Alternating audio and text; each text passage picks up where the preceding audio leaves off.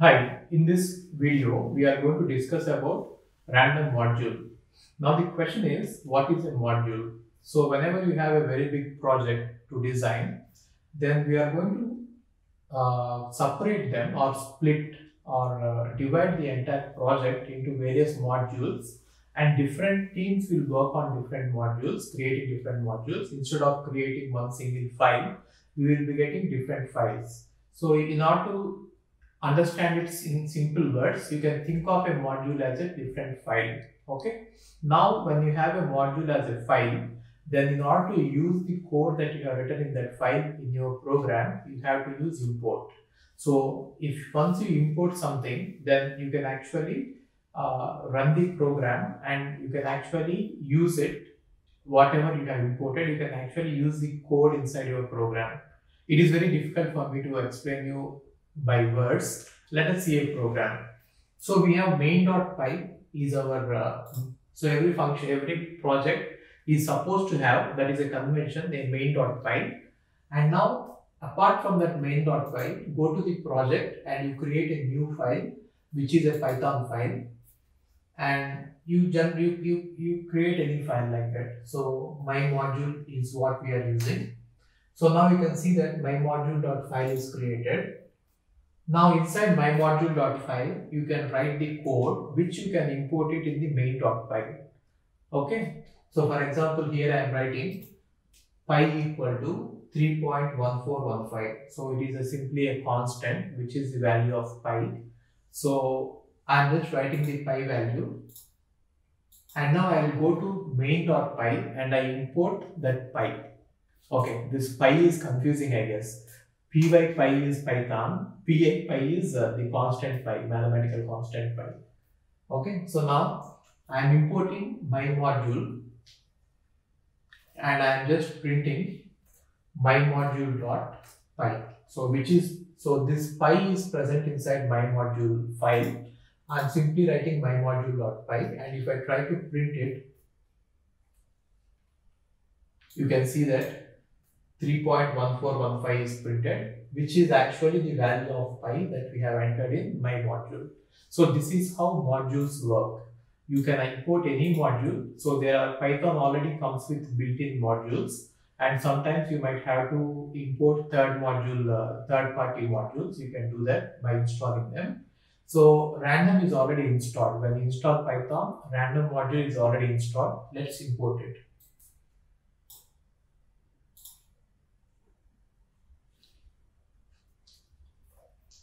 Let's import random.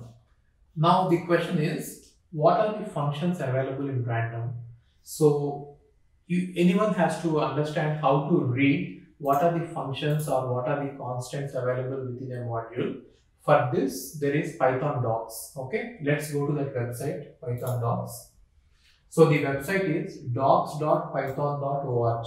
If you go to that website and whatever module you want to read about, you can read about it there. So it is a random, pseudo random number generator. Random is a pseudo random number generator. So what is pseudo random number generator is? It is truly not random, but is close to random. Now random has been so the random has uh, implemented an algorithm if you are curious to know about how random package works or how random module is implemented then there is a wikipedia page about pseudo random generator that is used in python you can go through it it is not very easy it is full of mathematics and it is complex so you might not be able to understand it or completely understand it but still if you are curious you can have a look at it. But for Python language, it is not required. It is not a mathematical class. So it is out of the scope for this course. But if you are interested, you can read about it. Okay.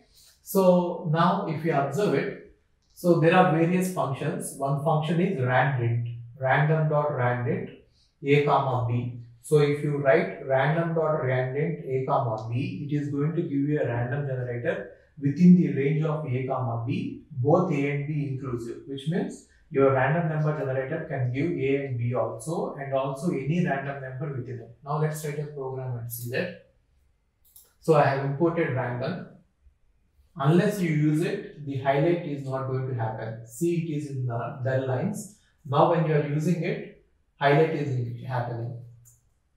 Right? Random underscore integer.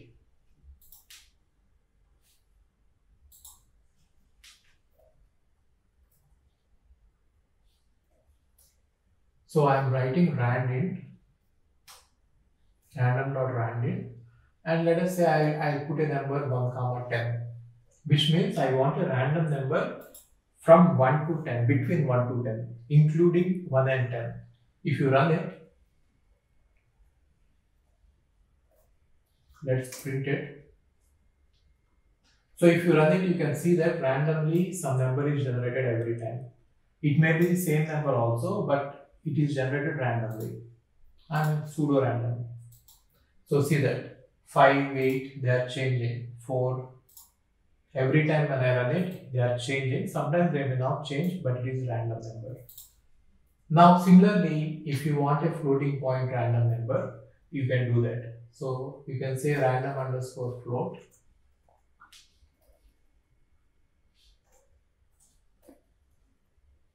So the function that you are going to use for float is random.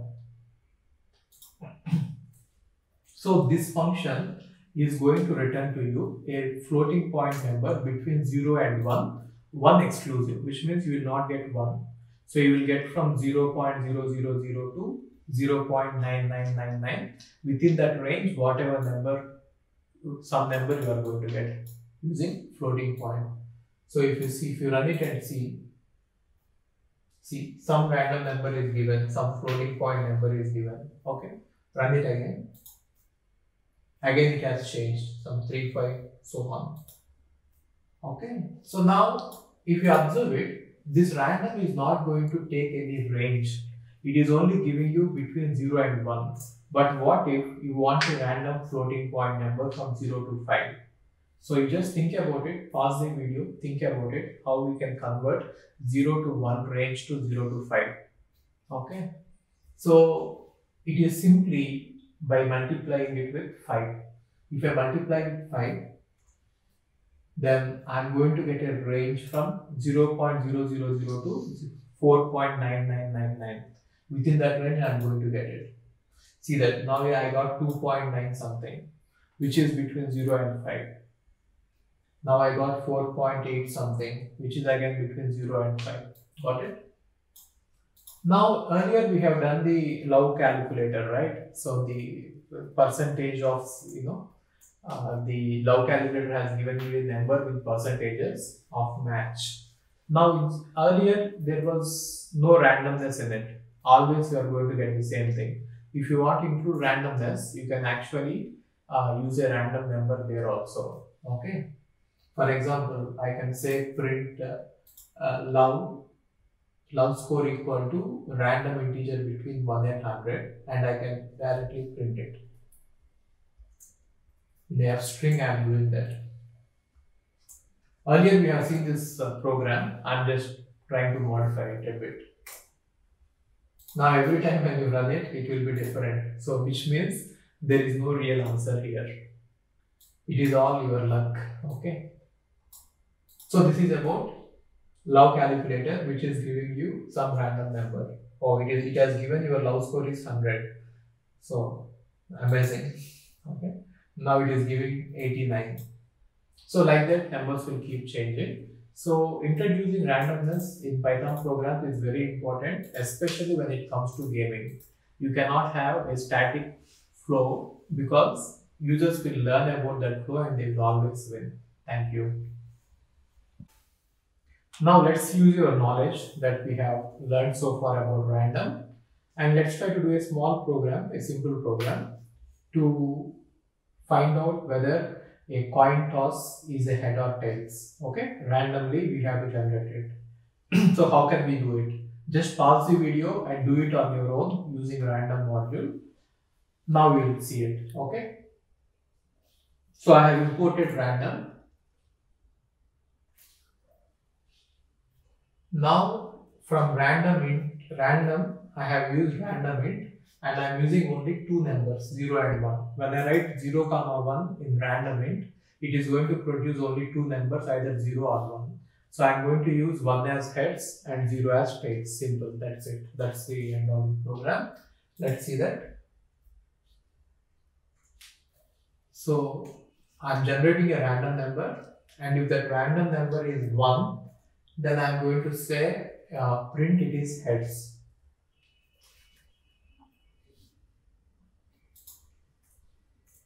Else, which means if it is 0 then I'm going to say it is tails.